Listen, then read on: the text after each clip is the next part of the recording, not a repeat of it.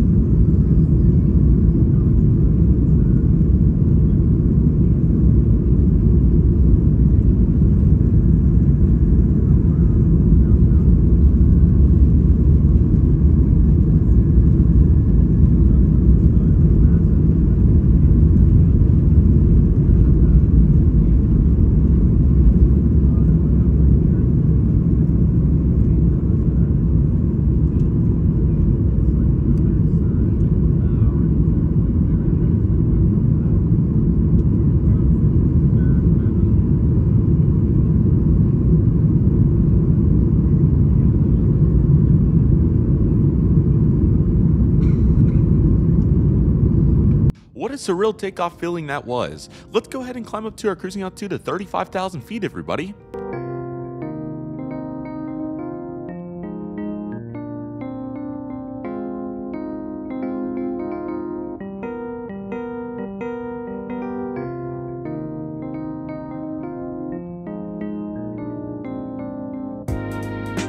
Alrighty everybody, welcome to our cruising altitude of 35,000 feet. So let's go ahead and dive into a little bit of an assessment to keep our mind off of this very tight connection that we're going to have at St. Louis. So let's just go ahead and get into all these feelings, guys. Speaking of which, the feeling of being on this flight right now is truly surreal. I know I just said that we need to get our minds off of the whole situation in general right now, but to even make this flight considering what this day has led up to is just truly surreal. So it's just tough not to think about that in this moment. But let's go ahead and talk about some other components of this flight in the segment to really give us some depth here as to what we're doing. So let's go ahead and get into all those factors. So first and foremost, this is a five-year-old Boeing 737 MAX 8 at the time of filming this video, which is November 8824 Quebec.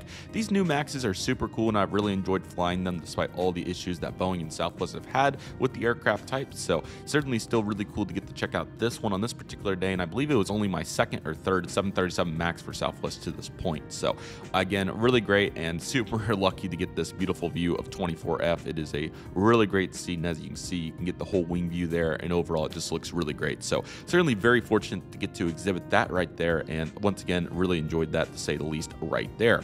Uh, speaking of the Southwest Max situation, I just thought I would talk about that a little bit. I made a video a few weeks ago regarding the whole situation, so feel free to check that out. But long story short, Southwest has got shorted over half the planes they expected to get in 2024, and as such, they are uh, really scaling back on several frequencies and even destinations as they'll be terminating four cities.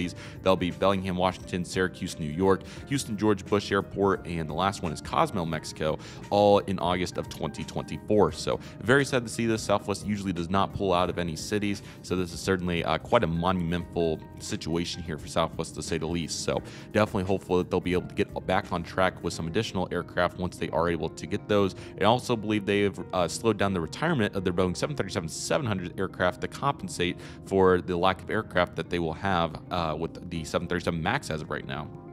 They still do have several 737 MAX 7s on order, and who knows when those will be reaching the skies as well. Definitely not in this 2024 year, but possibly next year or beyond. So we'll have to see what happens for the Southwest 737 MAX 8 and beyond.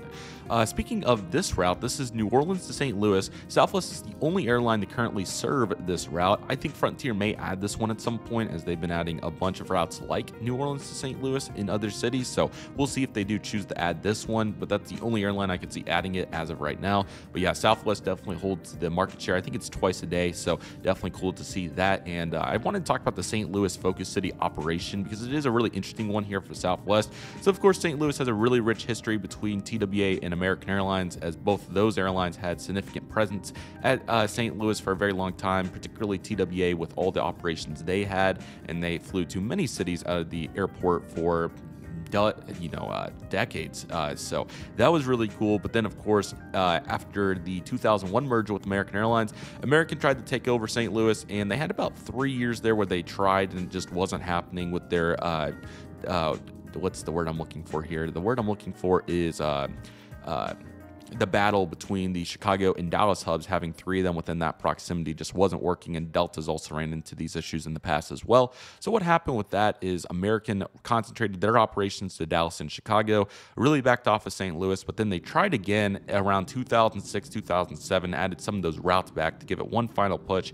And that one was unsuccessful for a variety of reasons. But the dagger on that was certainly the recession of 2008 for aviation. And that was it for St. Louis on those operations. However, Southwest did start this operation, I think in the mid 80s uh, is when they really started to get St. Louis going, and they added a variety of cities. Uh, I think New Orleans has been around for decades. I know the Tulsa St. Louis route, which will be the next flight if we're able to make that flight, that one's been around since like 1983. So it's been around for, I think, over like 40 years now, which is really cool and certainly an essential function of the network. So, really cool.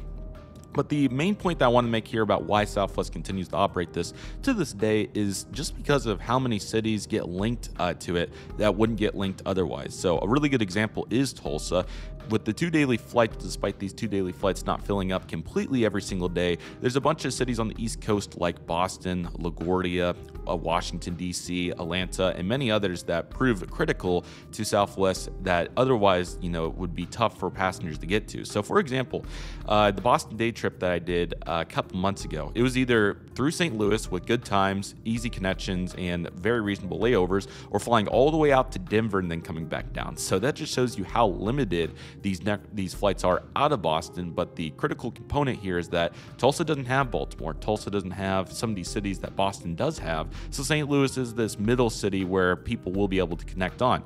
Another great example is Atlanta. Uh, went on to Atlanta a few months ago as well, and St. Louis was the easiest uh, connection, and it got there the soonest, which was the reason I picked it. I'm fine with long layovers in normal circumstances. However, when you're trying to get somewhere to go plane spotting, you know, you kind of need the quickest itinerary. So that's really the huge function of St. Louis. And again, this flight doesn't fill up out of Tulsa all the time but it still performs well. And, you know, similar story for New Orleans here. This flight was completely full, which is awesome for a Monday evening here. Uh, it was peak time. We were right around uh, Memorial Day. So, you know, you would expect that to be the case. But even the other routes out of St. Louis, I've walked around that Terminal E area and have seen load factors that have been really good. Now, there have been some that have been pretty tough, especially in the winter going north.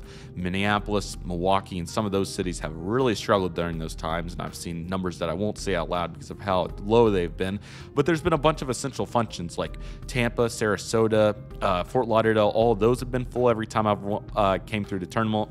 Excuse me uh, Las Vegas, Phoenix, Denver, you know, the bigger operations that you would expect to be full. And then they have flights to Cancun as well, which have been very successful, among others. So it's a really essential operation. And, excuse me it's really the last uh, the last link here for St. Louis. So I think Southwest will continue this operation for a long time to come. I don't think that they're going to concentrate at all because that local community is really strong and they definitely need flights to Florida and other places that those passengers want to go in conjunction with all the connecting opportunities that I talked about previously. So sorry that that was a little bit of an explanation, but I've never heard anybody really explain the logic of the St. Louis operation, so I thought I would. And if there's any complimentary thoughts you have, feel free to go uh, and comment those below. I also believe Southwest does transport quite a bit of cargo in the St. Louis. I know St. Louis has several operations there that they need cargo for, so that also could be a possibility of why Southwest still considers this a really good market for them. So if anybody has any additional thoughts, let me know, but thought I'd give some uh, complimentary thoughts to kind of take our mind off of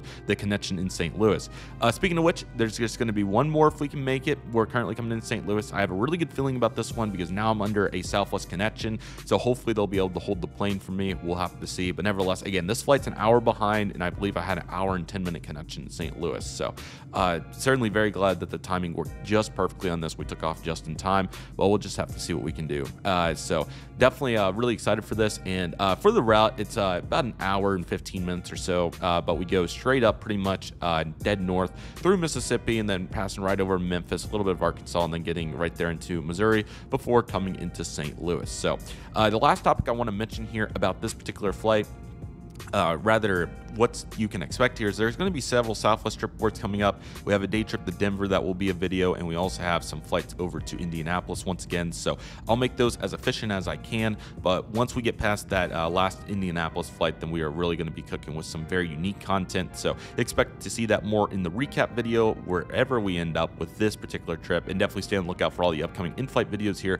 But nevertheless, why don't we just go ahead and get straight into the descent in the conclusion. So let's go ahead and get started with that. And also, sorry this was a night flight. It wasn't anticipated to be, but that's just how the cookie crumbled on this particular day. So let's go ahead and get into this. So we'd come over kind of the east side of the Mark Twain National Forest area in the uh, eastern part of Missouri, and then that would take us into St. Louis. So we're going to be landing on runway, I believe, I want to make sure I get it right, so I apologize, but I'm pretty sure it's 12 right, uh, which would take us on a right base there after our right downwind. It's the far south runway here at St. Louis, and that is actually runway 11. Glad I checked. So we're going to be landing on runway 11 today, which is not uncommon. That's a pretty standard uh, runway for landing there. So that takes us uh, pretty much uh, past St. Louis downtown, and that brings us back around on the other side of the Missouri River for our landing today. So, anyways, for the actual flight, it was really calm, but it was really good. I really enjoyed it. Again, Southwest does a great job with all their operations, and despite this flight being delayed, obviously worked in my situation, but I know there's many passengers here that likely are going to misconnect. So,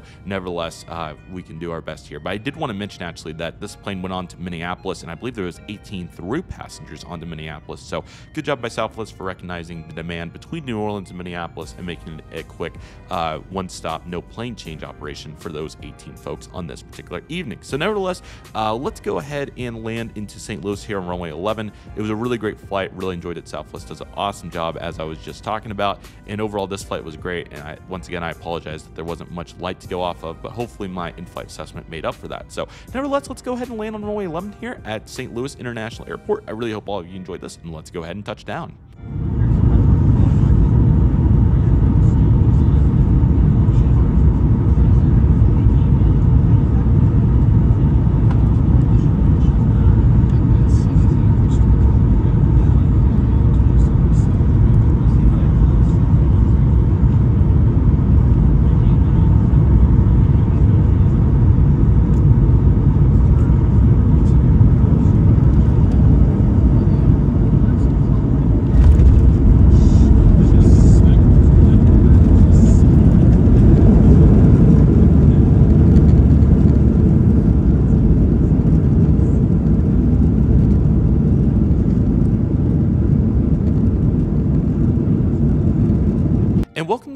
Everybody. We have a relatively short taxi over to our gate today, so let's go ahead and take it on over there.